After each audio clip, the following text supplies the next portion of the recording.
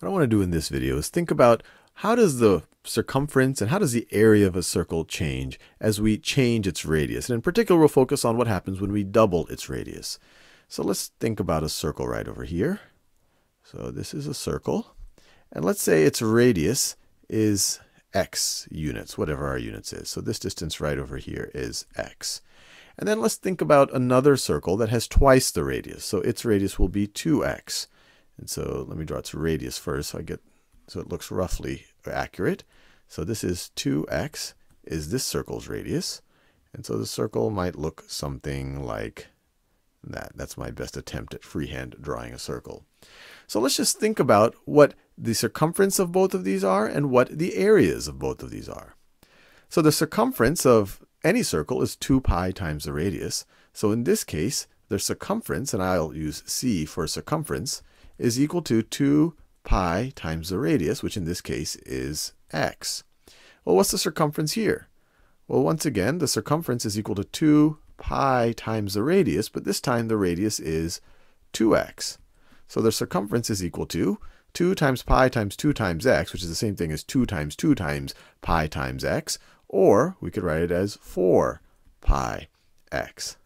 So we see here that this circumference is twice as large as this one. To go from 2 pi x to 4 pi x, you have to multiply, multiply by 2. So you double the radius, it doubled the circumference.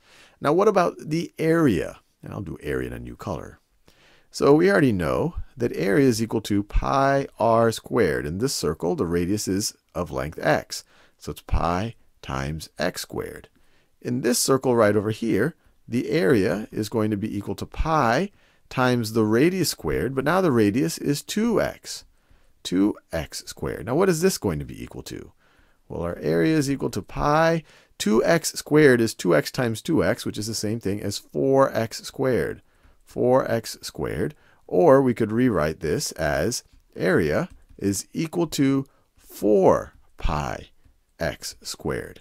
Notice, now the area has increased not by a factor of 2, the area has increased by a factor, a factor of 4 when we doubled the radius. Now, why did this happen? I encourage you to pause the video and think about it. Well, it comes straight out of the formulas for circumference and area.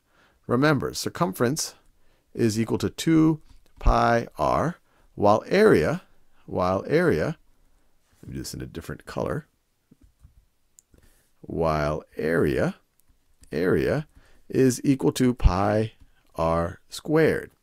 So you see here, area is proportional to the square of the radius. So if you double this, you're going to increase your area by a factor of 4. If you triple it, if you triple your radius, you're going to increase your area by a factor of 9. If you increase your radius by a factor of 4, you're going to increase your area by a factor of 4 squared, or 16. While circumference, whatever factor you increase your radius, the circumference is going to increase by that same factor. And if you don't believe me, I mean, we essentially showed it right here through a little bit of algebra, but you could try it out with as many numbers as you see fit.